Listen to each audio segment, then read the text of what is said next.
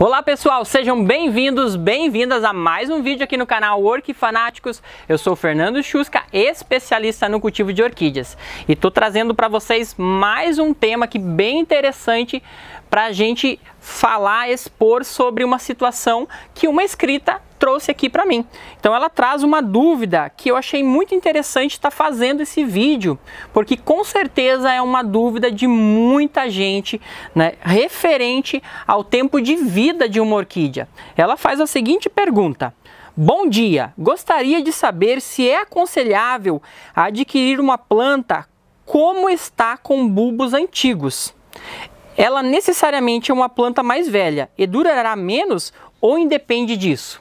Então ela está querendo adquirir uma planta, só que essa planta ela tem bulbos velhos e consequentemente ela está preocupada em saber se essa planta está mais perto da morte ou se isso não interfere em nada, pelo fato da planta ter vários bulbos velhos. Então, para responder essa pergunta, eu trouxe essa planta aqui, né, que vocês já viram no vídeo anterior, essa planta aqui é uma Lélia purpurata, uma planta muito bonita de minha coleção.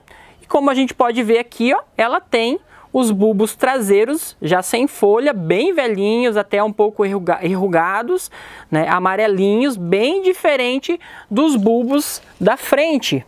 Os bulbos da frente aqui, eu acho que vocês estão conseguindo ver, eles estão bem saudáveis, bonito. Então essa aqui é uma planta não tão velha, mas vamos pensar né, no caso como um todo, né? imaginando que essa planta aí tenha vários, vários bulbos assim desfoliados, velhos, né? eu adquiro essa planta ou não? Essa planta está mais perto da morte ou não? Então, se inscrevam no canal se não forem inscritos, deixem o joinha de vocês porque eu estou respondendo essa pergunta agora.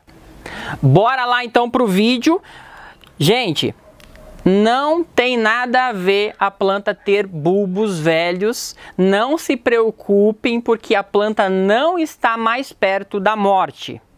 A planta, a orquídea em si, ela pode viver aí 100, 200, 300 anos, 500 anos. Não existe necessariamente um catálogo, né, um, uma pesquisa assim da qual é a orquídea que viveu mais, né? Não existe. Mas a gente sabe, né, por experiência própria, né, e por leituras, por estudo, né, por análise, que as orquídeas elas têm uma vida muito, muito grande, né, ou seja, muito além do nosso tempo. Né? Uma orquídea pode viver muito mais do que 70, 80 anos, 90 anos, se bem cuidada. No nosso cultivo também né? Não é só lá na natureza que ela pode passar de 100, 200 anos de vida. Na nossa casa, no nosso cultivo, se ela tiver os cuidados corretos, ela pode viver muito tempo. Porém, é claro, é óbvio que algumas espécies de orquídeas, elas vão descartando a parte de trás e vão priorizando o desenvolvimento da parte da frente. Então, assim, Conforme vai saindo um broto novo, a tendência é que aquele broto velho vá sendo descartado com o passar do tempo. Um, dois, três bulbos velhos que estão ali sem folha, que, né, que estão amarelando, eles vão sendo descartados com o passar do tempo. Muita gente pensa que é fungo que está atingindo a planta, mas não, é uma coisa natural, porque a planta ela vai entendendo que aquela parte já está muito sensível e que não tem muito mais função para ela. Sensível a quê?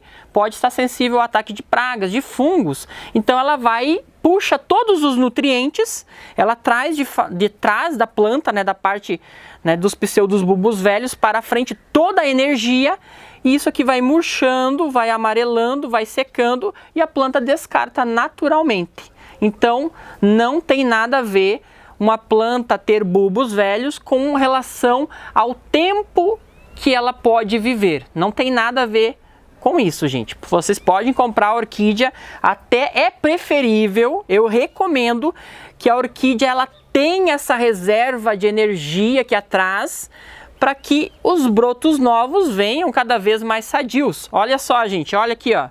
Né? Olha o tamanho desses bulbos aqui de trás. Aí a planta foi se desenvolvendo, se desenvolvendo. Olha o tamanho desse daqui da frente. E possivelmente esse aqui ainda vai crescer mais. Então, isso aqui é uma reserva de energia para a planta. Uma reserva de nutrientes, de água, de líquidos que a planta ela pode utilizar em qualquer momento da vida dela.